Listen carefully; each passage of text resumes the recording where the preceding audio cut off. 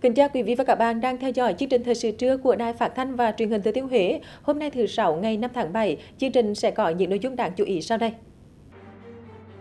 Hội nghị tỉnh ủy lần thứ 16 mở rộng và hội nghị cán bộ chủ chốt toàn tỉnh để đánh giá tình hình thực hiện nhiệm vụ kinh tế xã hội 6 tháng đầu năm, triển khai nhiệm vụ 6 tháng cuối năm và lấy ý kiến công tác quy hoạch cán bộ.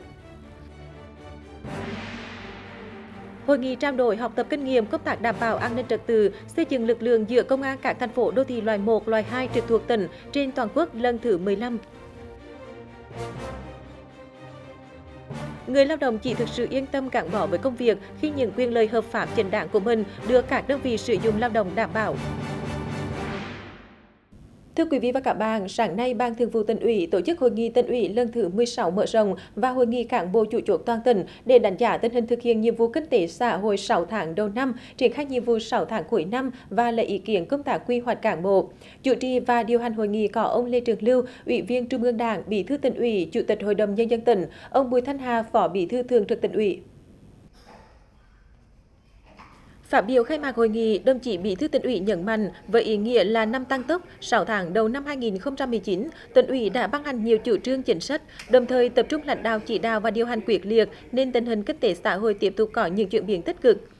Tốc độ tăng trưởng kinh tế đạt 6,87%, công nghiệp có mức tăng trưởng khá, sản xuất nông nghiệp tiếp tục được mùa. Chương trình xây dựng nông thôn mới, giảm nghèo bền vững được triển khai tích cực. Thu ngân sách trên 3.800 tỷ đồng, đạt 53,2% dự toán công tác phát triển doanh nghiệp và xúc tiến đầu tư tiếp tục được quan tâm đẩy mạnh. Cải cách hành chính, bảo vệ môi trường, chuyển đổi nhận thức vì một Huế xanh, sạch, sáng, đẹp được lan tỏa từ tỉnh đến cơ sở.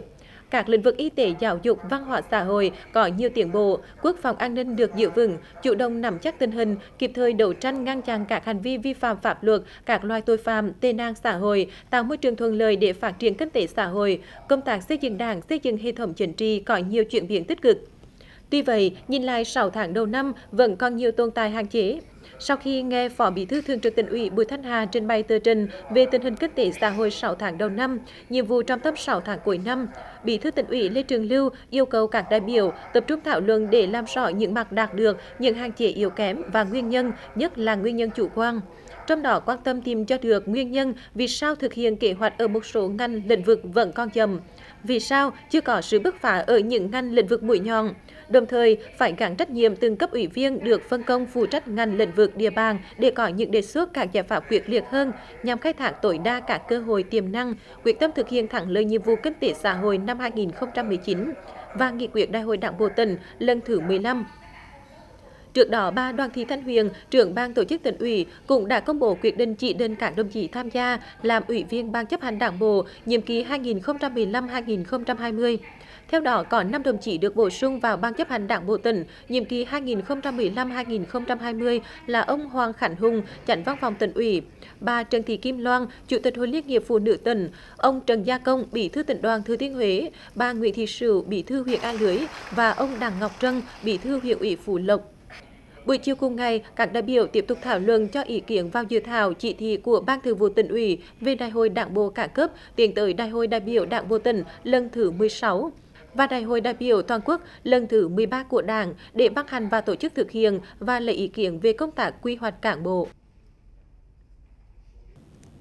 Cũng trong sáng nay, Ban tuyên giáo Trung ương tổ chức hội nghị trực tuyến báo cáo viên tháng 7 để thông tin một số chuyên đề và định hướng công tác tuyên truyền trong thời gian tới. Tham dự và chủ trì tại điểm cầu Thừa Thiên Huế có ông Nguyễn Thái Sơn, trưởng Ban tuyên giáo tỉnh ủy. Trước khi diễn ra hội nghị trực tuyến, trưởng ban tuyên giáo tỉnh ủy Nguyễn Thái Sơn định hướng một số nội dung đẩy mạnh tuyên truyền trong thời gian tới. Đó là bên cạnh tuyên truyền các nghị quyết chỉ thị của trung ương và của tỉnh, đội ngũ báo cáo viên cần đẩy mạnh thông tin về những thành tựu phát triển kinh tế xã hội của cả nước và của tỉnh, gắn với 50 năm thực hiện di chúc của Chủ tịch Hồ Chí Minh, tuyên truyền đấu tranh phản bác quan điểm sai trái, chống phá của các thế lực thù địch một nội dung quan trọng khác, trưởng ban tuyên giáo nhấn mạnh là việc thực hiện nghị quyết số 37 của Trung ương về sắp xếp các đơn vị hành chính cấp huyện xã. Theo đó, trên địa bàn tỉnh có 7 đơn vị hành chính cấp xã nằm trong diện sáp nhập, vì vậy tuyên truyền để tạo sự đồng thuận trong nhân dân để triển khai thực hiện tốt nhiệm vụ này. Mở đầu cho hội nghị trực tuyến của Ban tuyên giáo Trung ương, ông Phạm Xuân Cảnh đến từ Tập đoàn Dầu khí Quốc gia thông tin về chuyên đề ngành dầu khí Việt Nam sau 50 năm thực hiện ý nguyện của Chủ tịch Hồ Chí Minh, khải quát về sự phát triển của ngành dầu khí, khó khăn thách thức và một số giải pháp mà ngành tập trung triển khai trong thời gian tới. Cũng tại hội nghị, Phó trưởng Ban Tuyên giáo Trung ương Nguyễn Thanh Long giới thiệu về hệ thống ứng dụng phần mềm VCNet và định hướng những nội dung tuyên truyền trong thời gian tới. Huyện ủy A Lưới vừa tổ chức hội nghị huyện ủy lần thứ 17 mở rộng để đánh giá tình hình thực hiện nhiệm vụ kinh tế xã hội 6 tháng đầu năm, triển khai phương hướng nhiệm vụ 6 tháng cuối năm 2019.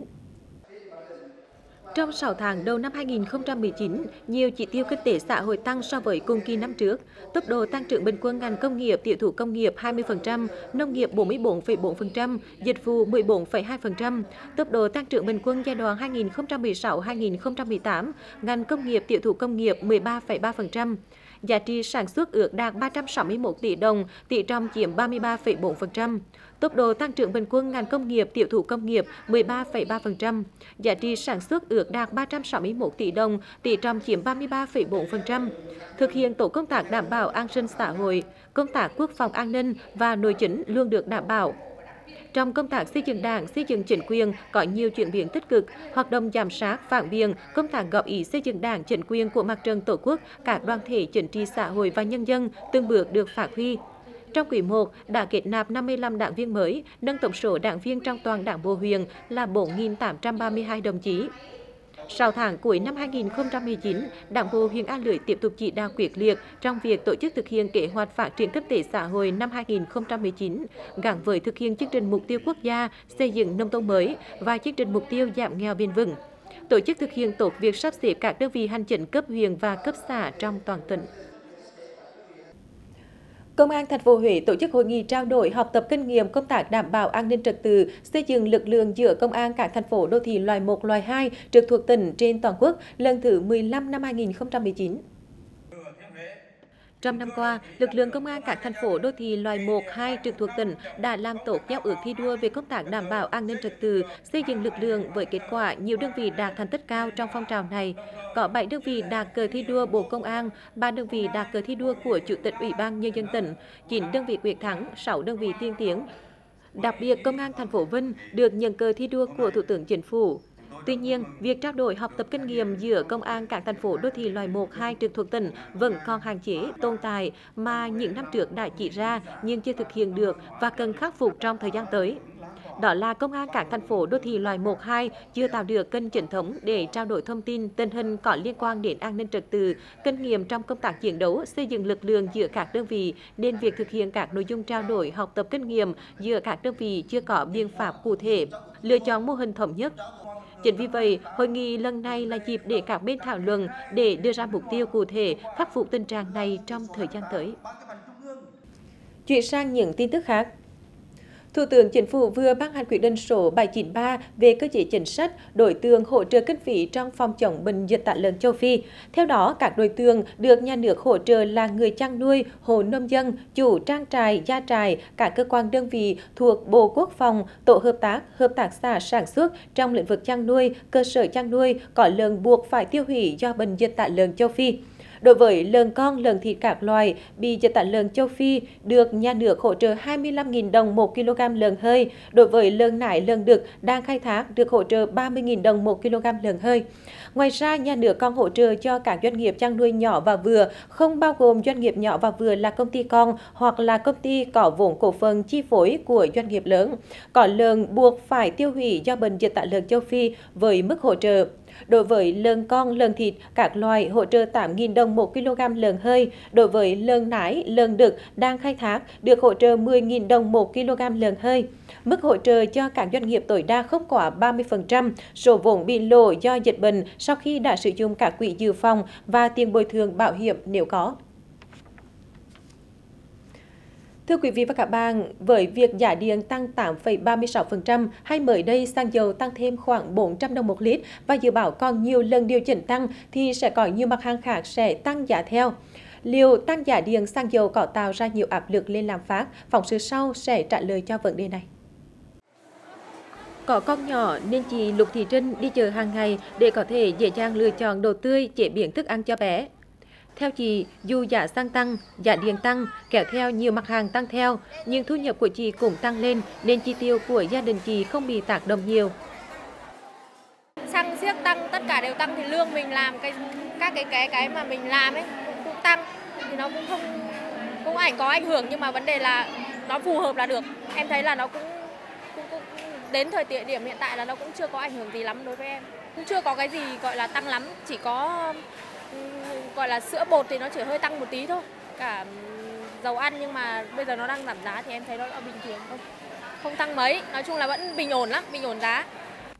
Phân tích từ các chuyên gia cũng cho thấy tỷ trọng giá điện trong rổ hàng hóa CPI chỉ vài phần trăm. Giá xăng sau khi tăng hồi đầu năm đã giảm trong tháng 5 và tháng 6, do đó mức tăng giá từ điện và xăng đã không quá tạo áp lực lên lạm phát. Sau 6 tháng đầu năm thì cái mức lạm phát trung bình là cỡ khoảng khoảng 2,65%. À, điều này cho thấy là uh, không có nhiều cái đột biến trong nửa đầu năm vừa qua, mặc dù là đã có những cái đợt tăng giá điện rồi tăng giá xăng dầu tương đối sốc. CPI 6 tháng đầu năm ở mức thấp là dư địa tốt để kiểm soát lạm phát trong những tháng cuối năm. Tuy nhiên, những tháng cuối năm vẫn còn nhiều yếu tố tác động tăng lạm phát như biến động giá nhiên liệu, thiên tai bão lũ, điều chỉnh giá một số mặt hàng do nhà nước quản lý. Tôi lo ngại là vấn đề các cái chi phí đẩy, tức là giá xăng dầu thế giới, phải không ạ? Rồi vấn đề mất cung cầu về hàng hóa, ví dụ như thịt lợn, hay là vấn đề thiên tai, ờ, dịch bệnh mà ừ, bây giờ mới có cơn bão số 1, số 2 thôi. Và tiếp tục ờ, tăng cường cái công tác ờ, thanh tra và kiểm tra giá rồi kiểm soát cái kê khai giá để phù hợp với cả các cái mặt bằng của thị trường cũng như kiểm soát các yếu tố chi phí. Để kiểm soát lạm phát, rất cần chủ động theo dõi diễn biến cung cầu, thị trường, giá cả để có giải pháp bình ổn thị trường phù hợp, nhất là đối với các mặt hàng thiết yếu đang có biến động khó lường về cung cầu như thịt lợn, lương thực, xăng dầu hay những mặt hàng có nhu cầu cao như vật liệu xây dựng. Tiếp tục với những thông tin khác. Báo cáo của Ủy ban Nhân dân tỉnh cho biết, tỷ lệ che phủ rừng năm 2018 được công bố đạt hơn 57%, diện tích rừng trồng đang có xu hướng tăng. Tổng diện tích rừng trồng tập trung trong 6 tháng đầu năm 2019 đạt 3.570 ha, tăng 3%, toàn bộ là rừng sản xuất. Đáng chú ý, kế hoạch phát triển rừng trồng gỗ lớn có chứng chỉ rừng FSC tại huyện Nam Đông A Lưới với số hộ đăng ký 288 hộ trên 750 ha, đã ra soát 174 hộ trên 596 ha, đạt 85% kế hoạch. Sản lượng gỗ khai thác ước đạt 252.035 mét khối, tăng 2,7%, toàn bộ là gỗ rừng trồng. Hiện đang là cao điểm của mùa nắng nóng, công tác phòng cháy chữa cháy rừng tiếp tục tăng cường. Trong 6 tháng đã xảy ra 235 vụ vi phạm lâm luật, tăng 72 vụ, trong đó phá rừng trái phép làm nương rẫy xảy ra 14 vụ, giảm 3 vụ. Với diện tích rừng bị phá 3,58 hecta, giảm 2,21 hectare đã tiến hành xử lý 156 vụ vi phạm lâm luật, tịch thu 43,8 mét khối gỗ tròn và 198,9 mét khối gỗ xẻ các loại, nộp ngân sách gần 1,7 tỷ đồng, xử lý tịch thu 8 chiếc xe ô tô. Trong năm nay, ban vận động tại nhiều địa phương đã tiến hành đại hội thành lập các hợp tác xã lâm nghiệp bền vững theo chủ trương của tỉnh. Tại huyện Phú Lộc vừa diễn ra đại hội thành lập hợp tác xã lâm nghiệp bền vững Lộc Thủy. Hợp tác xã Lâm nghiệp bền vững Lộc Thủy được thành lập với 14 thành viên là các hộ gia đình trồng rừng trên địa bàn. Bước đầu, các hộ sẽ tham gia trồng rừng theo chứng chỉ FSC với diện tích khoảng 75 ha rừng, sau đó sẽ tiếp tục hướng đến phát triển thêm thành viên và diện tích. Theo đánh giá, hiện tại trên địa bàn xã Lộc Thủy có khoảng hơn 1.000 hecta diện tích trồng rừng sản xuất chưa tham gia vào chương trình trồng rừng gỗ lớn chứng chỉ FSC. Hợp tác xã được thành lập với mục tiêu vì lợi ích của thành viên hợp tác xã, có phần giải quyết việc làm, nâng cao thu nhập, cải thiện đời sống cho các thành viên trong hợp tác xã và đảm bảo cung cấp đầy đủ dịch vụ cho thành viên phát triển bền vững rừng trồng gỗ lớn FSC. Ngoài ra, hợp tác xã đảm bảo quản lý sử dụng và tích lũy vốn có hiệu quả để phát triển kinh tế, mở rộng dịch vụ, sản xuất kinh doanh, đáp ứng nhu cầu của các thành viên, tiến tới đáp ứng nhu cầu thị trường có chất lượng hiệu quả, có sức cạnh tranh nhằm thúc đẩy kinh tế hộ, kinh tế hợp tác xã cùng phát triển một cách bền vững và nâng cao giá trị gia tăng của sản phẩm hàng hóa sử dụng gỗ rừng trồng, góp phần tạo việc làm, xóa đói giảm nghèo, cải thiện sinh kế cho người dân sống bằng nghề rừng hỗ trợ ít nhất 10 dự án khởi nghiệp đổi mới sáng tạo, giải quyết việc làm cho 2.500 thanh niên, trong đó có ít nhất 1.000 thanh niên tham gia xuất khẩu lao động là một trong những tiêu chí phấn đấu của Hội Liên hiệp Thanh niên Việt Nam thị xã Hương Thủy trong nhiệm kỳ mới 2019-2024. Từ đầu nhiệm kỳ đến nay, Hội Liên hiệp Thanh niên thị xã đã tổ chức được 305 hoạt động về an toàn giao thông, 113 hoạt động xây dựng nông thôn mới, 292 hoạt động xây dựng văn minh đô thị, 668 hoạt động ra quân hưởng ứng ngày thứ bảy tình nguyện, ngày chủ nhật xanh. Tổ chức tư vấn hưởng nghiệp cho 11.564 lượt thanh niên, giải quyết việc làm cho 1.716 thanh niên, có 689 thanh niên tham gia xuất khẩu lao động. Nhiệm kỳ 2019-2024, Hội Liên hiệp Thanh niên thị xã Hương Thủy tiếp tục đẩy mạnh phong trào Tôi yêu Tổ quốc tôi và chương trình xây dựng Hội Liên hiệp Thanh niên Việt Nam vững mạnh trong từng thanh niên. Phần đầu có nhiều hơn mô hình thanh niên làm kinh tế giỏi, thu nhập cao. Mỗi xã phường có ít nhất một mô hình giúp đỡ thanh niên yếu thế, hỗ trợ ít nhất 10 dự án khởi nghiệp đổi mới sáng tạo, giải quyết việc làm cho 2.500 thanh niên trong đó có ít nhất 1.000 thanh niên tham gia xuất khẩu lao động, 100% tổ chức hội trực thuộc có công trình phần việc thanh niên gắn với bảo vệ môi trường, triển khai hiệu quả đề án hỗ trợ thanh niên khởi nghiệp tỉnh giai đoạn 2018-2022. Thưa quý vị, những năm qua, cùng với việc chủ trọng đẩy mạnh các hoạt động sản xuất kinh doanh, nhiều doanh nghiệp đơn vị trên địa bàn tỉnh chấp hành khá tốt các chế độ chính sách về bảo hiểm xã hội, bảo hiểm y tế, bảo hiểm thất nghiệp cho người lao động. Bên cạnh góp phần thực hiện tổ chương trình an sinh xã hội của địa phương, việc bảo vệ quyền lợi hợp pháp chính đáng cho người lao động đã tạo tâm lý phấn khởi an tâm cho họ làm việc và có những đóng góp nhiều hơn cho doanh nghiệp và xã hội. Ghi nhận của phóng viên thời sự. Hơn 2 tháng trở lại công việc, chị Đặng Thị Mỹ Ngân, nhân viên nhà hàng khách sạn Mường Thanh, nhận thấy rõ quyền lợi khi tham gia bảo hiểm xã hội của mình. Các chế độ thai sản, chị đã được hưởng đầy đủ với quy định mà doanh nghiệp đóng bảo hiểm xã hội theo mức lương của chị.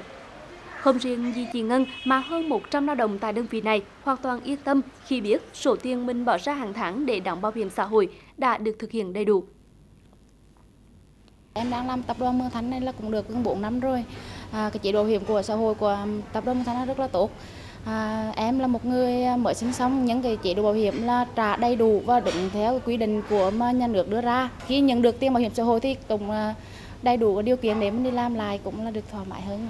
Cũng không trực vực với các vấn đề khác ạ. Trong những năm qua về mặt à, bảo hiểm xã hội thì khách sạn đơn vị cũng là đã thực hiện rất là đầy đủ về cái mặt thực hiện các cái quy định theo như bảo hiểm xã hội đã đề ra. Bên cạnh đó thì cũng tạo được rất nhiều cái uh, chính sách ổn định uh, về bảo hiểm xã hội cho người lao động ví dụ như là uh, về bảo hiểm xã hội uh, y tế về um, uh, bảo hiểm uh, thai sản hay là các cái bảo hiểm ốm đau khác. Uh, và cái điều đó thì cũng làm khá hài lòng cho người lao động. Còn đơn vị điện lực tỉnh với số tiền hàng tháng nộp bảo hiểm xã hội cho người lao động là gần 2 tỷ đồng.